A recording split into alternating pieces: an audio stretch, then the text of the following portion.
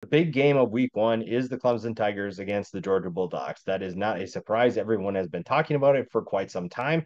And now we finally get to see what these two teams are capable of doing. This is a very intriguing matchup and two teams that are in kind of different positions, but both teams are expecting to compete for a national championship. And the Georgia Bulldogs come in after a 13 and 1 season, a season in which they were left out of the college football playoff. This is a team that is very motivated, very ready to showcase their talent and showcase their dominance. And they are ready to do that against anyone. It does not matter who they face, they are ready to send a message in week one to the rest of college football. A team that averaged over 40 points per game and on defense average under 16. This is a team that wants to score a ton of points and absolutely demolish anybody in their way defensively. Clemson is trying to get back to that point. The offense has taken kind of a step back, which has kind of also affected the defense, but this is the defense for Clemson that I think can get back to what we saw under Brent Venables. They have plenty of talent. They have an elite defensive line that has a bright future. And it's just a matter of can this offense get back to where they once were? This is a team that is hurting for offensive explosiveness. And I'm really intrigued to see how this group takes that to the next level. Garrett Riley had a lot of work to do, but I think that you've seen some signs and you brought in plenty of talent that can make that happen. It's just we'll dive into what needs to to go right for them in order for them to be in that position. Now, Georgia is currently favored by 13 and a half. And that's really interesting because it speaks to how, again, how motivated Georgia is, but also maybe what Clemson is going up against. And we obviously know that Georgia is the better team right now. That shouldn't really be a surprise, but I think that Clemson has an opportunity to make a statement of their own. And I don't even necessarily think that Clemson has to win to let everybody know it's going to be different if, if you keep Georgia's offense in check, that tells you that the defense is in a good spot to compete with really good teams. Because again, Georgia is going to be a college football playoff contender. So even if you lose to Georgia, I think that there are still plenty of uh, things you can see, plenty of messages that can be sent about Clemson that tell you, hey, they're just that's not the Clemson we saw last year or the Clemson that we've seen the last couple of years. So there are definitely things that Clemson do. Obviously, winning sends a message that it, it speaks loudly to college football, but there's also ways for them to make a statement without winning that football game. The burning questions, it, it fits into this kind of well. For Clemson is do, they have it in them? Do they have the ability to pull off this upset? In years past, you know, when you look at the Tajh Boyd days, the, the Deshaun Watson days, even Trevor Lawrence, you would have answered this question with a profound yes this is a Clemson team that is very capable of beating Georgia in those years. But lately, Georgia and Clemson kind of feel like they're in two different atmospheres. They're on two different planets. They are just not on the same level.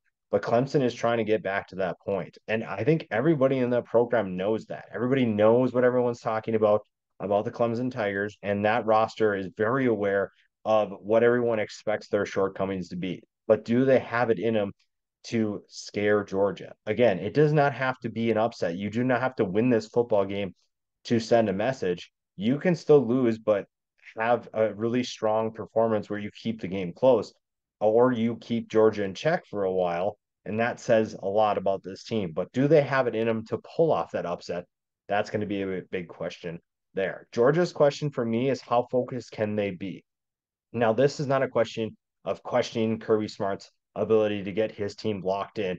This is a team that understands what happened last year. They are very aware that they felt snubbed, and that was a team that felt like they could have won a national championship. They definitely felt like they could beat Michigan, and they just didn't get the job done when they needed to, and they got left out. Now they are coming back with a purpose and they are going to be focused. The question is, how focused are they going to be in week one? And I'm not saying that they are going to absolutely crush, but a blowout win or a, you know a multi-touchdown win against Clemson says a lot about how scared everyone else should be. Now it is week 1. There are going to be things that go wrong. There are going to be certain things that Clemson does to to throw off their game. Puts a wrinkle in their uh, their game plan.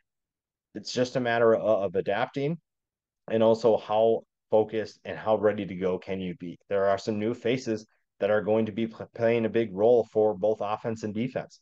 We'll obviously dive into that here in a little bit, but you have different pieces coming in. You have some moving pieces that could make this interesting, but I think that Georgia has the ability to get locked in pretty early and send a message right off the bat. Now, the matchup to watch is going to be Cade Klubnik against Georgia's defense because this tells me everything I need to know right now about both teams. If Cade Klubnik has a strong performance, he makes smart reads, he does not turn the ball over, pushes the ball downfield, then I know that Clemson is in a better place. And I feel more optimistic about what they can do in 2024. For Georgia, if you are making his life miserable, which we saw in the past, we've seen teams do that to Cade Klubnik and it has not gone well for Clemson. If Georgia is swarming him and getting in the backfield as much as possible, that is going to be a long game for the Clemson Tigers and for Cade Klubnik. And this is already projected to be a lower scoring game.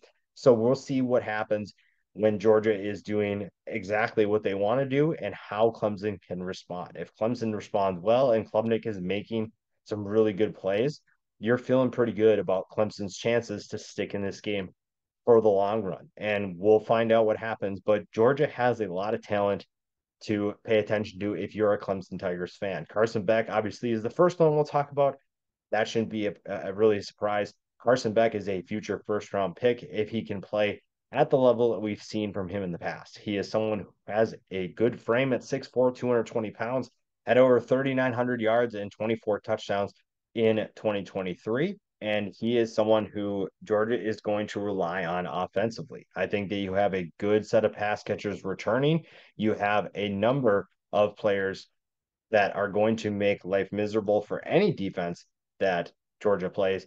And if he can find ways to just get them the football, sometimes you're going to see he, he does not need to make these big time throws all the time. With guys like Trevor Etienne in the backfield, you have Colbie Young, you have a number of players coming back, and, Dominic Lovett, Oscar Delp. You have a number of talented players that are going to make your life easy. So yes, sometimes Carson Beck is going to have to make some big time throws, and he's very capable of doing that. But also sometimes just get the ball to your guy and let him do the work. Carson Beck does not have to be a hero. And if Georgia is going to dominate, it's when he's going to know, hey, I need to make a play here, or my guy is going to get the job done. And I think that he's done a good job of that last year and you're going to see that from him again in 2024. Now, defense is going to be kind of the same thing. The defensive line feels like it's in a really good spot. You have Mykel Williams coming back. You have Chaz Chambliss coming at that linebacker, outside linebacker, edge player. He is going to be fun to watch, someone who could take a big step up, but it's the linebacker position that really intrigues me. There's a reason why Jamon Dumas Johnson left for Kentucky, and it's because guys like Smael Mondon are coming back, but also Jalen Walker and CJ Allen are going to be phenomenal at that position as well. Smael Mondon has that ability to get out in space. He can cover in space. He can get to the ball carrier. He has that quickness, and he's also added to his frame. He is 235 pounds now. It's not that sleek frame that you saw from him a couple years ago. He has definitely put in the work with his body, and he's taken the weight room obviously very seriously.